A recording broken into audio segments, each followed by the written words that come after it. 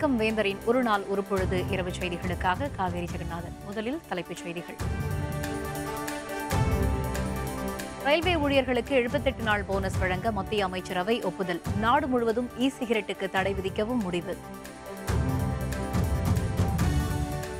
இந்தியை திணிக்க வேண்டுமென ஒருபோதும் கூறவில்லை. மத்திய அமைச்சர் அமித்ஷா விளக்கம். தமிழகத்தில் ஹிந்தி திணிக்கப்படாது என ஆளுநர் உறுதி. திமுக போராட்டம் ஒத்திவைப்பு என ஸ்டாலின் அறிவிப்பு. பொதுவான மொழி இருந்தால் நாடு வளர்ச்சி அடையும் என ரஜினிகாந்த் கருத்து. தமிழகம் மட்டுமின்றி தென் மாநிலங்களிலும் ஹிந்தியை ஏற்க மாட்டார்கள்.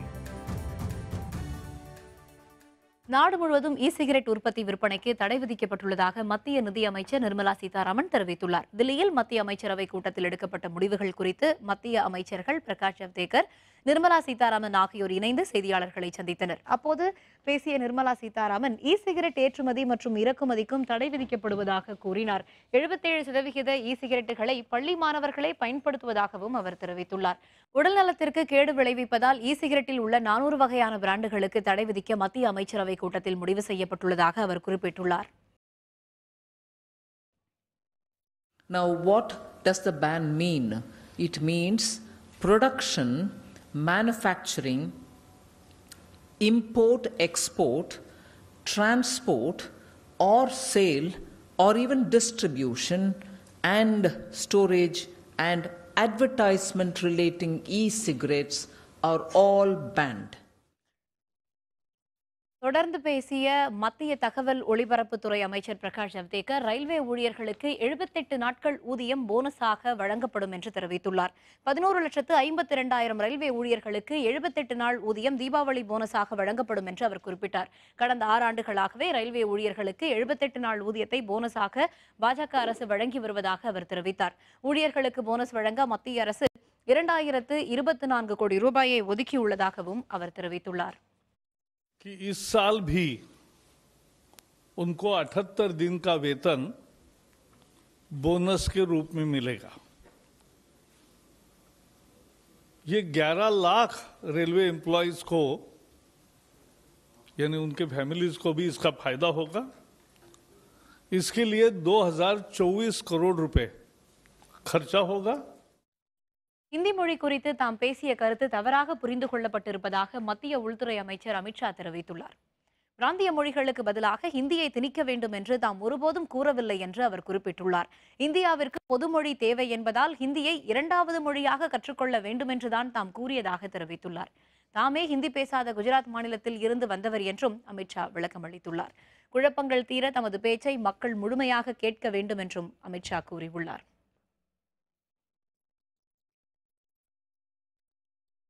தமிழக ஆளுநர் பன்வாரிலால் புரோஹித்தை திமுக தலைவர் மு க ஸ்டாலின் சந்தித்துள்ளார். சென்னை ராஜ்பவனில் ஆளுநர் பன்வாரிலால் புரோஹித்தை ஸ்டாலின் சந்தித்து ஆலோசனை நடத்தினார். இந்த சந்திப்பு மரியாதை நிமித்தமானது என்று கூறப்பட்டுள்ளது. இருப்பினும் தமிழகத்தில் தற்போதுள்ள அரசியல் சூழல் ஐந்து மற்றும் எட்டாம் வகுப்புகளுக்கு பொதுத் தேர்வு நடத்துவது உள்ளிட்ட பல்வேறு முக்கிய விஷயங்கள் குறித்து ஆலோசனை நடைபெற்றதாக கூறப்படுகிறது. ஆளுநருடனான சந்திப்பின் போது திமுக தலைவர் ஸ்டாலினுடன் கட்சியின் முதன்மை செயலர் டி ஆர் பாலு உடனிருந்தார். மத்திய உள்துறை அமைச்சர் அமித்ஷாவின் ஹிந்தி திணிப்பு தொடர்பான கருத்துக்கு எதிர்ப்பு தெரிவித்து திமுக சார்பில் தமிழகம் முழுவதும் நாளை மறுநாள் நடைபெற இருந்த போராட்டம் தற்காலிகமாக ஒத்திவைக்கப்பட்டுள்ளது. ஆளுநர் சந்திப்பை தொடர்ந்து சென்னை அறிவாலயத்தில் செய்தியாளர்களை சந்தித்த திமுக தலைவர் ஸ்டாலின் இதனை தெரிவித்துள்ளார். அமித்ஷா கூறிய கருத்து தவறாக புரிந்து கொள்ளப்பட்டுள்ளதாக ஆளுநர் தங்களிடம் கூறியதாக அவர் குறிப்பிட்டார். தமிழகத்தில் ஹிந்தி திணிக்கப்படாது என ஆளுநர் உறுதியளித்ததாக ஸ்டாலின் கூறினார். திராவிட முன்னேற்ற கழகத்தின் சார்பில் நடைபெறவிருக்கக்கூடிய கண்ண ஆர்ப்பாட்டத்தை பற்றி அவர் பேசினார். எந்த காரணத்திற்காக நடைபெறுகிறது என்பதை நாங்கள் விளக்கிச் சொன்னோம். அதைத் தொடர்ந்து அவர் மத்திய உள்துறை அமைச்சர் அமித்ஷா அவர்கள் சொன்ன கருத்து தவறாக புரிந்து கொள்ளப்பட்டிருக்கிறது. எந்த காரணத்தை கொண்டும் தமிழகத்தில் இந்தி திணிக்கப்பட மாட்டாது என்று அழுத்தம் திருத்தமாக எடுத்துச் சொன்னார். ஆக அவர் சொன்ன அந்த கருத்தை மனதில் கொண்டு வருகிற இருபதாம் தேதி தமிழகம் முழுவதும் திராவிட முன்னேற்றக் கழகத்தின் சார்பில் நடைபெறவிருந்த கண்டன ஆர்ப்பாட்டத்தை தற்காலிகமாக நாங்கள் ஒத்தி வைத்திருக்கிறோம். பொதுவான ஒரு மொழி இருந்தால் நாட்டின் ஒற்றுமைக்கும் வளர்ச்சிக்கும் நன்மை அளிக்கும் என நடிகர் ரஜினிகாந்த் தெரிவித்துள்ளார். சென்னை விமான நிலையத்தில் செய்தியாளர்களை ரஜினிகாந்த் சந்தித்தார். அப்போது பேசிய அவர் இந்தியாவில் ஒரே மொழியாக ஹிந்தியை கொண்டு வர முடியாது என்று குறிப்பிட்டார். எந்த மொழியையும் இங்கு திணிக்க முடியாது என்று சுட்டிக்காட்டினார். இந்தியை திணித்தால் தமிழகம் உட்பட தென்னிந்திய மக்கள் ஒருபோதும் ஏற்றுக்கொள்ள மாட்டார்கள் என்றும் வட இந்தியாவில் கூட ஒரு சில மாநிலங்களில் ஏற்றுக்கொள்ள மாட்டார்கள் என்றும் ரஜினிகாந்த் தெரிவித்தார்.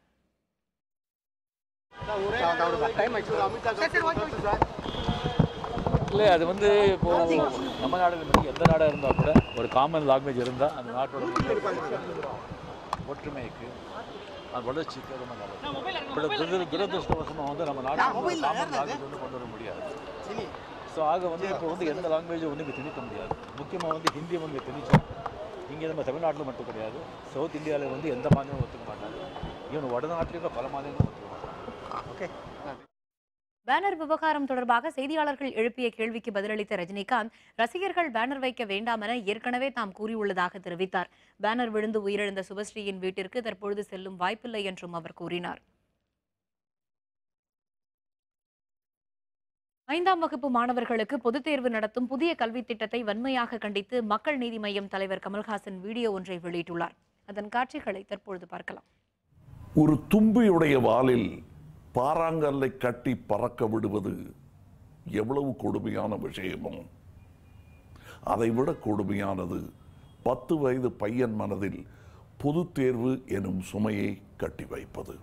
இந்த கல்வி திட்டம் நம் குழந்தைகளுக்கு எதை சொல்லிக் கொடுக்கிறதோ இல்லையோ மன அழுத்தத்தை கண்டிப்பாக சொல்லிக் கொடுக்கும்.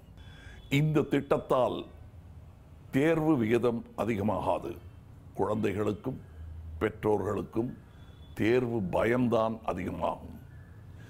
ஜாதிகளாலும் மதத்தினாலும் ஏற்படும் ஏற்றத்தாழ்வுகளை விட மதிப்பெண்களால் ஏற்பட போகும் ஏற்றத்தாழ்வுகளால் தான் இப்பொழுது பாதிப்பு அதிகமாக இருக்கப் போகிறது.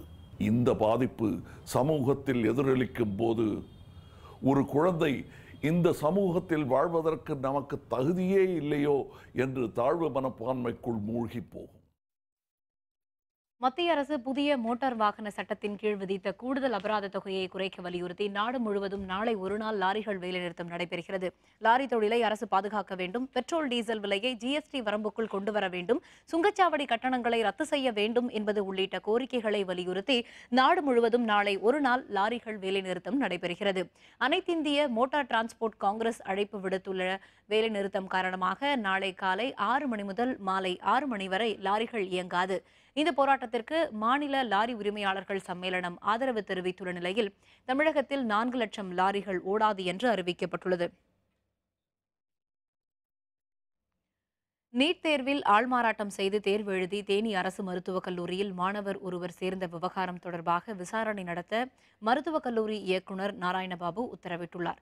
தேனி கானாவிலக்கில் உள்ள அரசு மருத்துவக் கல்லூரி மருத்துவமனையில் இந்த கல்வியாண்டில் சென்னையைச் சேர்ந்த மாணவர் உதித் சூர்யா என்பவர் நீட் தேர்வில் ஆள்மாறாட்டம் செய்ததாக குற்றச்சாட்டு எழுந்தது. தேர்வுக்கான ஹால் டிக்கெட்டில் இருந்த படமும் மாணவரின் படமும் வேறு வேறாக இருப்பதாக கூறப்பட்டது. இது தொடர்பாக புகார்தாரர் தந்த புகைப்படங்களை காவல்துறையிடம் அளித்துள்ளதாக தேனி மருத்துவக் கல்லூரி முதல்வர் ராஜேந்திரன் தெரிவித்தார். இதனிடையே ஆள்மாறாட்டத்தில் ஈடுபட்டதாக குற்றம் சாட்டப்பட்ட மாணவர் உதித் சூர்யா மன உளைச்சல் காரணமாக மருத்துவக் கல்லூரியில் இருந்து விலகுவதாக கடிதம் எழுதியுள்ளார். விண்ணில் இருந்து எதிரிகளின் இலக்குகளை துல்லியமாக தாக்கி அழிக்கும் அஸ்திரா ஏவுகணையின் மூன்றாம் கட்ட சோதனை வெற்றிகரமாக பரிசோதிக்கப்பட்டது. இந்திய விமானப்படையின் வலிமையை மேம்படுத்தும் விதமாக ஜெட் விமானத்தில் இருந்து அஸ்திரா ஏவுகணை சோதனை ஒடிசா கடற்கரையில் மேற்கொள்ளப்பட்டது. மூன்றாம் கட்டமாக நடத்தப்பட்ட இந்த சோதனையில் தொண்ணூறு கிலோமீட்டர் தொலைவில் இருந்த இலக்கை அஸ்திரா ஏவுகணை துல்லியமாக தாக்கி அழித்தது.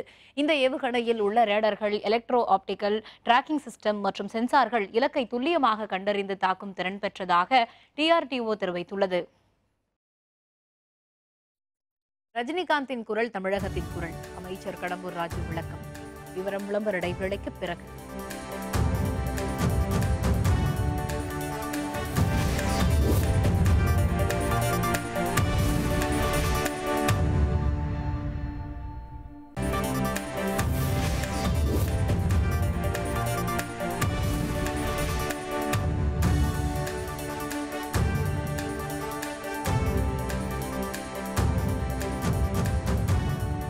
செய்திகள் தொடர்கின்றன. இந்தி திணிப்பு எதிர்ப்பு என்பது நடிகர் ரஜினிகாந்த் கருத்து மட்டுமல்ல ஒட்டுமொத்த தமிழகத்தின் குரல் அதுதான் என அமைச்சர் கடம்பூர் ராஜு தெரிவித்துள்ளார். கோவில்பட்டியில் செய்தியாளர்களை சந்தித்த அவர் இன்று வரை இருமொழி கொள்கைதான் அதிமுகவின் கொள்கை என்று தெரிவித்தார். இந்தி திணிப்பு என்பது எந்த காலத்திலும் தமிழகத்தில் ஏற்றுக்கொள்ளப்படாது என்று குறிப்பிட்ட அமைச்சர் நீதிமன்ற தீர்ப்புகளை தமிழில் பெற்றுத்தந்தது அதிமுக அரசுதான் என்று குறிப்பிட்டார். இன்றைக்கி இந்தி மொழி திணிப்பு என்ற சர்ச்சையில் ரஜினிகாந்தருடைய கருத்து மட்டுமல்ல ஒட்டுமொத்த தமிழகத்தினுடைய ஒரே குரலாக இந்தி திணிப்பு என்பது காலங்காலமாக இங்கே தமிழகத்தில் திணிப்பு என்பது இருக்கக்கூடாது என்பது நம் அனைவருடைய கொள்கை. அது நீதிமன்றத்தினுடைய தீர்ப்புகளை தமிழிலே பெற்று தந்தது இன்றைக்குள்ள அண்ணா அனைத்து அண்ணாரோட மாண்புமிகு அம்மாவின் அரசு. அதே போல் ரயில்வே துறைக்கு தேர்வை தமிழகத்தில் தமிழில் எழுத வேண்டும் என்ற உத்தரவையும் இன்றைக்கு நாங்கள் பெற்று தந்திருக்கின்றோம். இந்த வகையில் தமிழ் மொழிக்கு பாதுகாப்பாக இருக்கின்ற அரசாக மாண்புமிகு அம்மாவின் அரசு இருக்கும் என்பதை தெரிவித்துக் கொள்கின்றேன். மானாமதுரையில் வங்கியில் கொலை முயற்சியில் ஈடுபட்ட கும்பலை காவலாளி துப்பாக்கியால் சுட்ட சம்பவம் பரபரப்பை ஏற்படுத்தியது. சிவகங்கை மாவட்டம் மானாமதுரை மேல்கரை பகுதியில் அமைந்துள்ள கனரா வங்கியில் இன்று காலை தங்கமணி என்பவரை பின்தொடர்ந்து வந்த ஐந்து பேர் கொண்ட கும்பல் அவரை அறிவாளால் வெட்டியது. இதனை கண்ட வங்கியின் காவலாளி செல்வநேரு என்பவர் அதனை தடுக்க முயன்றார். இதனால் அந்த கும்பல் வங்கி காவலரை தாக்க முயற்சித்ததால் அவர் தனது துப்பாக்கியால் சுட்டார். இதில் செல்வமணி என்பவர் காலில் காயமடைந்தார். இதையடுத்து காயமடைந்த இருவரும் மருத்துவமனைக்கு அனுப்பி வைக்கப்பட்டனர். கொலை முயற்சியில் ஈடுபட்டவர்களை மானாமதுரை டிஎஸ்பி கார்த்திகேயன் தலைமையில் இரண்டு தனிப்படைகள் அமைத்து போலீசார் தீவிரமாக தேடி வருகின்றனர். இந்தி திணிப்பை எதிர்த்து குடியாத்தம் ரயில் நிலையத்தில் உள்ள பெயர் பலகையில் ஹிந்தி எழுத்துக்களை கருப்பு மை பூசி அழித்து திமுகவினர் போராட்டத்தில் ஈடுபட்டனர். மத்திய அரசின் ஹிந்தி திணிப்பை எதிர்த்து திமுக மாநிலம் தழுவிய போராட்டத்தை அறிவித்துள்ளது. வேலூர் மாவட்டம் குடியாத்தம் ரயில் நிலைய பெயர் பலகையில் ஹிந்தி மொழியில் எழுதப்பட்ட வாசகங்களை திமுக தகவல் தொழில்நுட்ப பிரிவைச் சேர்ந்த இளைஞர்கள் கருப்பு மை பூசி அழித்தனர். அதன் பிறகு மத்திய அரசுக்கு எதிராக முழக்கங்களை எழுப்பி போராட்டத்தில் ஈடுபட்டனர். இதையடுத்து திமுகவைச் சேர்ந்த இருபத்தி ரெண்டு பேரை போலீசார் கைது செய்தனர். இனத்தை தாங்கி பிடிப்போம்.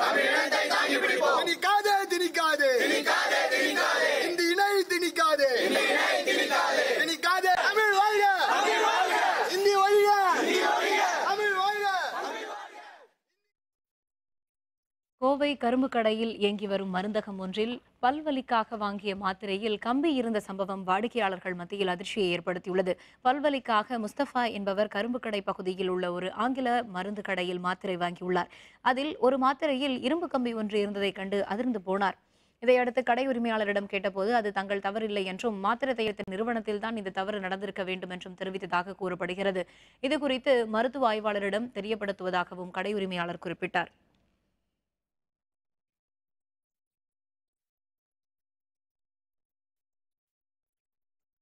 திருச்சி மாவட்டம் மணப்பாறை அருகே பழைய இரும்பு கடைக்கு சென்ற வெளிநாட்டு தம்பதியர் நூதன முறையில் பதினேழாயிரம் ரூபாய் பணத்தை திருடிச் சென்றனர்.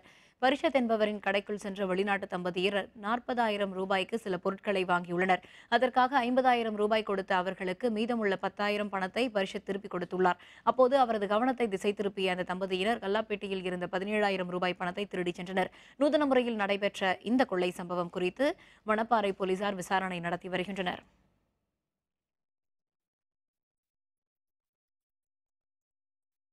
நீலகிரி மாவட்டத்தில் இரண்டாவது சீசன் தொடங்க உள்ள நிலையில் உதகை தாவரவியல் பூங்காவில் மலர் கண்காட்சிக்காக மேடையில் செடிகளை அடுக்கி வைக்கும் பணியை மாவட்ட ஆட்சியர் தொடக்கி வைத்தார்.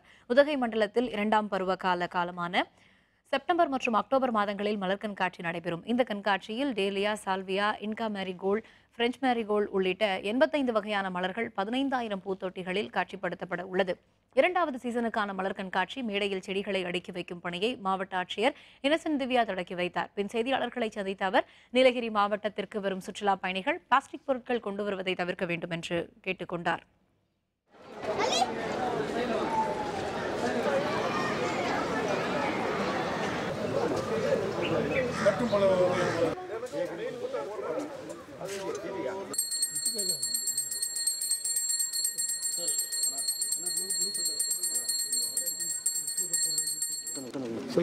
நீலகிரி மாவட்டம் உதகையில் இன்று செகண்ட் சீசனுக்கு உண்டான முன்னேற்பாடுகள்லாம் நடந்துட்டு இருக்குது செகண்ட் சீசனுக்கு இந்த ஃப்ளவர் கேலரி ஒன்று ஓப்பன் பண்ணுறோம் பொதுமக்களுடைய அவங்க வந்து கண்டு ரசிக்கிறதுக்காக. அந்த ஃப்ளவர் கேலரியில் எண்பத்தஞ்சு வெரைட்டி ஃப்ளவர்ஸ் பதினைந்தாயிரம் பாட்டட் பிளான்ஸ் வைக்க போகிறோம் இந்த சீசன் வந்து ஒன் மந்த் வரைக்கும் இந்த ஃப்ளவர் கேலரி ஓப்பனாக இருக்கும்.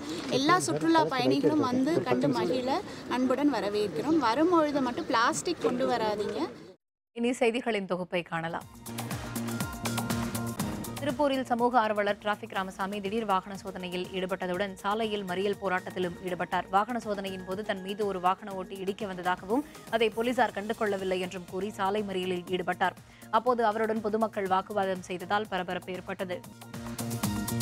கன்னியாகுமரி மாவட்டம் அஞ்சுகிராமம் அருகே கடற்கரையில் சுமார் ஒன்றரை அடி உயரம் கொண்ட எட்டு சிவலிங்கங்கள் கரை ஒதுங்கியதை கண்ட பொதுமக்கள் ஆச்சரியமடைந்தனர். கன்னியாகுமரியை அடுத்த ரஸ்தாக்காடு கடலில் எட்டு சிவலிங்கங்கள் மிதப்பதாக மீனவர்கள் போலீசாருக்கு தகவல் கொடுத்தனர். சம்பவ இடத்திற்கு விரைந்து சென்ற போலீசார் கடலில் மிதந்த சிவலிங்கங்களை கைப்பற்றி விசாரணை மேற்கொண்டனர். மரத்தால் செய்யப்பட்ட அந்த எட்டு சிவலிங்கத்தையும் கன்னியாகுமரி அரசு அருங்காட்சியகத்தில் ஒப்படைத்தனர். சத்தியமங்கலம் திம்பம் மலைப்பாதையில் கிரானைட் கற்கள் ஏற்றி வந்த லாரி பழுதாகி நின்றதால் சுமார் 12 மணி நேரம் போக்குவரத்து பாதிப்பு ஏற்பட்டது. தமிழ்நாடு கர்நாடகா மாநிலங்களை இணைக்கும் முக்கிய சாலையான இந்த மலைப்பாதையில் இரவு பதினொன்று நாற்பத்தைந்து மணியளவில் இருபத்தி ஆறாவது கொண்டை வளைவில் லாரி திரும்பிய போது பழுதாகி சாலையில் நின்றது. காலை வரை பழுது சரி செய்யப்படாததால் கடுமையான போக்குவரத்து நெரிசல் ஏற்பட்டது. பயணிகள் மற்றும் வாகன ஓட்டிகள் கடும் அவதிக்குள்ளாகினர்.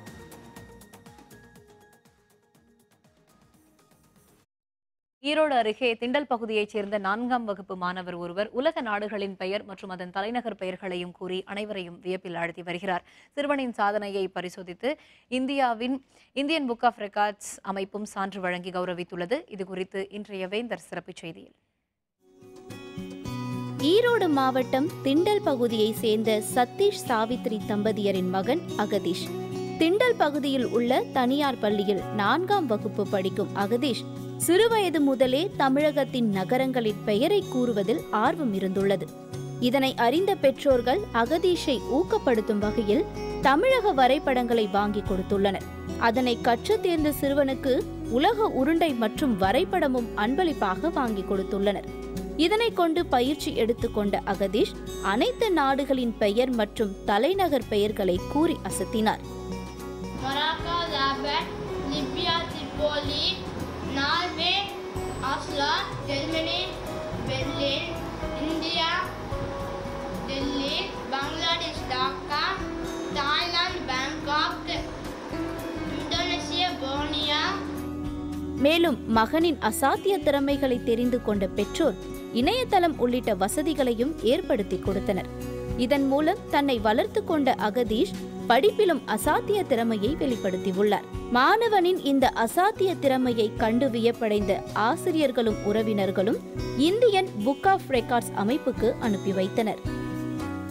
தமிழ்நாட்டோட எல்லா அதையும் டிஸ்ட்ரிக்ஸ் எல்லாமே படிக்க ஆரம்பித்தான் அதில் ரொம்ப ஆர்வமாக அதுக்கப்புறம் இந்தியாவோட மேப்ஸ் கேட்டால் நாங்கள் இந்தியாவோட மேப்ஸ் வாங்கி கொடுத்தோம். அதில் வந்து இந்தியாவில் இருக்கிற எல்லா ஸ்டேட்ஸ் அதோட கேபிட்டல்ஸ் அதோட யூனிட் டெரிட்டரிஸ் எல்லாமே படிக்க ஆரம்பித்தான் அவனோட இந்த ஆர்வத்தை பார்த்துட்டு நாங்கள் வந்துட்டு ஈரோட்டில் நடக்கிற புத்தக திருவிழாவுக்கு வந்துட்டு வருஷம் வருஷம் அழைச்சிட்டு போவோம். அப்போ வந்து அவனுக்குரிய தேவையான குளோப்ஸு ஓல்டு மேப்ஸு புக்ஸ் எல்லாம் வாங்கி கொடுத்தோம். அதுலேருந்து அவனும் வந்துட்டு குளோப்ஸு மேப்ஸ் எல்லாம் பயன்படுத்தி உலகத்தில் இருக்கிற எல்லா கண்ட்ரீஸோட லொக்கேஷன்ஸையும் கற்றுக்க ஆரம்பித்தான் ஃபஸ்ட்டு அதுக்கப்புறம் எல்லா கண்ட்ரீஸோட தலைநகரத்தையும் சொல்ல ஆரம்பித்தான் அதுக்கப்புறம் ஃப்ளாக்ஸில் ரொம்ப இன்ட்ரெஸ்ட் ஆகி ஒவ்வொரு கண்ட்ரீஸோட ஃப்ளாக்ஸையும் கற்றுக்க ஆரம்பிச்சுக்கிட்டான். மாணவர் அகதீஷை நேரில் ஆய்வு செய்த இந்தியன் புக் ஆஃப் ரெக்கார்ட்ஸ் அமைப்பினர் மாணவனின் திறமையையும் அறிவாற்றலையும் பார்த்து child with excellent knowledge of geography என்ற சான்றிதழை வழங்கி பாராட்டினர். அகதீஷை இதைவிட பெரிய அளவில் சாதிக்க வைக்க வேண்டும் எனவும் அவர் விஞ்ஞானியாகி இந்தியாவுக்கு பெருமை சேர்க்க வேண்டும் எனவும் பெற்றோர் தெரிவிக்கின்றனர். இந்த அச்சீவ்மெண்ட்ஸை பார்த்துட்டு நாங்கள் வந்து ஏதாவது பண்ணணும்னு சொல்லிட்டு ரெக்கார்ட் பண்ணணும்னு சொல்லிட்டு நான் வந்து ஆன்லைனில் சர்ச் பண்ணும்போது எனக்கு வந்துட்டு இந்தியன் புக் ஆஃப் ரெக்கார்ட்ஸ் வந்துட்டு நான் அதை வந்து அப்ளை பண்ணால் நாங்கள் ஆஸ் அ பேரண்ட்ஸாக முடிவு பண்ணோன்னா அவங்களும் வந்து எல்லாம் அனலைஸ் பண்ணிக்கிட்டு எங்கள் குழந்தைக்கு வந்துட்டு child with excellent knowledge of ஜியோகிராஃபிங்கிற ஒரு டைட்டிலையும் கொடுத்து அவங்க வந்துட்டு அவார்டையும் கொடுத்தாங்க. இத்தனை சிறுவயதிலேயே பல்வேறு பதக்கங்களும் சான்றிதழ்களையும் பெற்றுள்ளது. மகிழ்ச்சியாக இருப்பதாக மாணவரின் தந்தை சதீஷ் கூறியுள்ளார். மேலும் அகதீஷை அடுத்த கட்டமாக இந்தியாவில் உள்ள சுற்றுலா தலங்கள் மற்றும் அதன் பெருமைகளை கற்றுக்கொள்ள தயாராகி வருவதாகவும் தெரிவித்தனர் ஒரு ஸ்டேஜில் வரப்போ அவன் படிக்கிற டைமில் ஏதோ சாதிக்கணும்னு ஆசைப்படுறப்போ எந்த மாதிரி போகலான்னு எல்லாம் நாங்களும் அப்படியே ஒவ்வொன்றா பார்த்துட்டே இருக்கிறப்ப தான் சரி அவன் அந்த கண்ட்ரியில் கொஞ்சம் இன்ட்ரெஸ்ட் ஆனா இதில் போய் நம்ம என்ன பண்ண முடியும்னு யோசிக்கிறப்போ அவனே வந்து ஒவ்வொன்றா ஒவ்வொன்றா இந்த மாதிரிலாம் கேபிட்டலு ஃப்ளாகு எல்லாமே அப்டேட் பண்ண ஆரம்பிச்சிட்டான். டிஸ்ட்ரிக்ட் லெவலில் வேர்ல்டு லெவல் போக ஆரம்பித்தோம் சரி இப்போ நாங்களும் இன்ட்ரெஸ்ட் ஆகி மேப்பு குளோப் இந்த மாதிரிலாம் வாங்கி கொடுத்தோம். புக் ஃபெஸ்டிவல் போனோம். டெய்லி அப்பப்போ அப்டேட் பண்ணிகிட்டே இருப்போம். கூகுள் மேப் பார்ப்போம். இந்த மாதிரி நிறைய அதுலேயே அப்டேட் பண்ணிகிட்டே இருக்கிறப்ப தான் சரி இந்த மாதிரி பண்ணாங்கன்னு இப்போ நாங்களும் சர்ச் பண்ணி இதெல்லாம் பார்த்துட்டு இந்த இந்தியன் புக் ஆஃப் ரெக்கார்ட்ஸ் போய் பண்ணோம். இதே போல சாதிக்க துடிக்கும் சிறுவர்களின் உணர்வுகளை புரிந்து கொண்டு அவர்களுக்கு தேவையான உதவிகளை பெற்றோர்கள் செய்து தர வேண்டும் என அவர்கள் கோரிக்கை விடுத்துள்ளனர். வேந்தர் டிவி செய்திகளுக்காக ஈரோட்டிலிருந்து ராஜேந்திரனுடன் கவிமோகன் பனிரெண்டு மாவட்டங்களில் கனமழைக்கு வாய்ப்பு. சென்னை வானிலை ஆய்வு மையம் தகவல். விவரம் விளம்பர இடைவேளைக்கு பிறகு.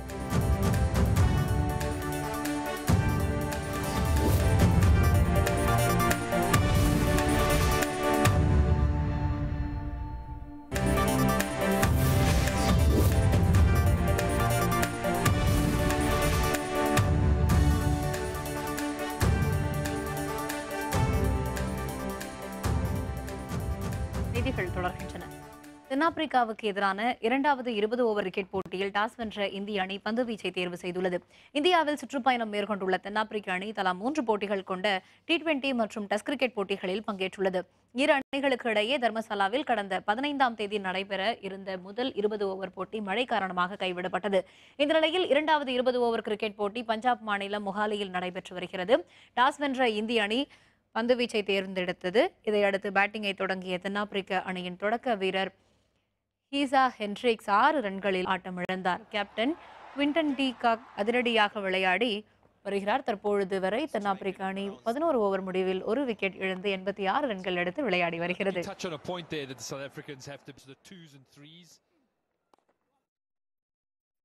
சென்னையில் இருபத்தி ரெண்டு கேரட் ஆபரண தங்கம் சவரனுக்கு நூற்றி இருபது ரூபாய் குறைந்துள்ளது. இருபத்தி ரெண்டு கேரட் தங்கம் கிராமுக்கு பதினைந்து ரூபாய் குறைந்து ஒரு கிராம் மூன்றாயிரத்து அறுநூறு ரூபாய்க்கு விற்பனை செய்யப்படுகிறது. சவரனுக்கு நூற்றி இருபது ரூபாய் குறைந்து ஒரு சவரன் இருபத்தெட்டாயிரத்து எண்ணூறு ரூபாய்க்கு விற்பனையாகிறது. இருப்பினும் வெள்ளி விலையை பொறுத்தவரை கிராமுக்கு இருபது காசுகள் குறைந்து ஒரு கிராம் ஐம்பது ரூபாய் இருபது காசுகளுக்கு விற்கப்படுகிறது. ஒரு கிலோ பார் வெள்ளி ஐம்பதாயிரத்து இருநூறு ரூபாய்க்கு விற்கப்படுகிறது. வளிமண்டல மேலடுக்கு சுழற்சி காரணமாக தமிழகம் புதுச்சேரியில் பனிரெண்டு மாவட்டங்களில் கனமழைக்கு வாய்ப்புள்ளதாக சென்னை வானிலை ஆய்வு மைய இயக்குநர் புவியரசன் தெரிவித்துள்ளார். சென்னையில் செய்தியாளர்களுடன் பேசிய அவர் ராமநாதபுரம் சிவகங்கை புதுக்கோட்டை திருச்சி அரியலூர் பெரம்பலூர் உள்ளிட்ட மாவட்டங்களில் கனமழை பெய்யக்கூடும் என்று தெரிவித்தார். தஞ்சாவூர் திருவாரூர் நாகப்பட்டினம் காரைக்கால் கடலூர் விழுப்புரம் ஆகிய மாவட்டங்களிலும் கனமழைக்கு வாய்ப்புள்ளதாக கூறினார். வட தமிழகம் மற்றும் புதுச்சேரி கடற்கரை பகுதிகளில் நாற்பது முதல் ஐம்பது கிலோமீட்டர் வேகத்தில் காற்று வீசக்கூடும் என்பதால் மீனவர்கள் அடுத்த இருபத்தி நான்கு மணி நேரத்திற்கு கடலுக்கு செல்ல வேண்டாம் என்று அறிவுறுத்தினார். சென்னையில் லேசானது முதல் மிதமானது வரை மழை பெய்ய வாய்ப்புள்ளதாகவும் புவியரசன் தெரிவித்தார். தமிழகம் மற்றும் புதுவையில் அடுத்த இருபத்தி நாலு மணி நேரத்தில் பெரும்பாலான மாவட்டங்களில் வளிமண்டல மேலடுக்கு சுழற்சியின் காரணமாக அநேக இடங்களில் லேசானது முதல் மிதமான மழையும் ராமநாதபுரம் சிவகங்கை புதுக்கோட்டை திருச்சி அரியலூர் பெரம்பலூர் தஞ்சாவூர் திருவாரூர் நாகப்பட்டினம் காரைக்கால் கடலூர் விழுப்புரம் ஆகிய மாவட்டங்களில் ஓரிரு இடங்களில் கனமழைக்கும் வாய்ப்புள்ளது. தமிழகத்தில் அதீத கனமழை பெய்யும் என்பதால் நாகை துறைமுகத்தில் மூன்றாம் எண் புயல் எச்சரிக்கை கொண்டு ஏற்றப்பட்டுள்ளது. மத்திய மேற்கு வங்கக்கடலில் உருவாகியுள்ள காற்றழுத்த தாழ்வு பகுதி காரணமாக அடுத்த இருபத்தி நான்கு மணி நேரத்தில் வங்கக்கடலோர பகுதிகளில் காற்றுடன் கூடிய கனமழை பெய்யும் என்று சென்னை வானிலை ஆய்வு மையம் எச்சரித்துள்ளது. இதையடுத்து சென்னை காட்டுப்பள்ளி எண்ணூர் நாகப்பட்டினம் ஆகிய துறைமுகங்களில் மூன்றாம் எண் புயல் எச்சரிக்கை கொண்டு ஏற்றப்பட்டுள்ளது. கடலூர் மாவட்டத்திலும் மூன்றாம் எண் புயல் எச்சரிக்கை கூண்டு ஏற்றப்பட்டுள்ளது. மாவட்டத்திற்குட்பட்ட தேவனாம்பட்டினம் சொத்திக்குப்பம் கோணாங்கப்பம் பரங்கிப்பேட்டை உள்ளிட்ட மீனவ கிராமங்களில் மீனவர்கள் தங்கள் படகுகளை பாதுகாப்பாக நிறுத்தி வைத்துள்ளனர். காற்றின் வேகம் அதிகரித்து காணப்படுவதால் வழக்கத்தை விட கடல் சற்று சீற்றத்துடன் காணப்படுகிறது. மீண்டும் தலைப்புச் செய்திகள். ரயில்வே ஊழியர்களுக்கு எழுபத்தெட்டு நாள் போனஸ் வழங்கவும் நாடு முழுவதும் இ சிகரெட்டிற்கு தடை விதிக்கவும் மத்திய அமைச்சரவை ஒப்புதல் அளித்துள்ளது. இந்தியை திணிக்க வேண்டுமென ஒருபோதும் கூறவில்லை என மத்திய அமைச்சர் அமித்ஷா விளக்கம் அளித்துள்ளார். தமிழகத்தில் ஹிந்தி திணிக்கப்படாது என ஆளுநர் பன்வாரிலால் உறுதியளித்துள்ளதால் திமுக போராட்டம் ஒத்திவைக்கப்படுவதாக ஸ்டாலின் அறிவித்துள்ளார். பொதுவான மொழி இருந்தால் நாடு வளர்ச்சி அடையும் என்றும் தமிழகம் மட்டுமின்றி தென் மாநிலங்களிலும் ஹிந்தியை ஏற்க மாட்டார்கள் என்றும் ரஜினிகாந்த் தெரிவித்துள்ளார். இத்துடன் வேந்தரின் ஒரு நாள் ஒரு பொழுது இரவு செய்திகள் நிறைவடைந்தன. மீண்டும் இரவு பத்து மணிக்கு வேந்தரின் டாப் பிப்டி சூப்பர் ஃபாஸ்ட் நியூஸில் சந்திப்போம். வணக்கம்.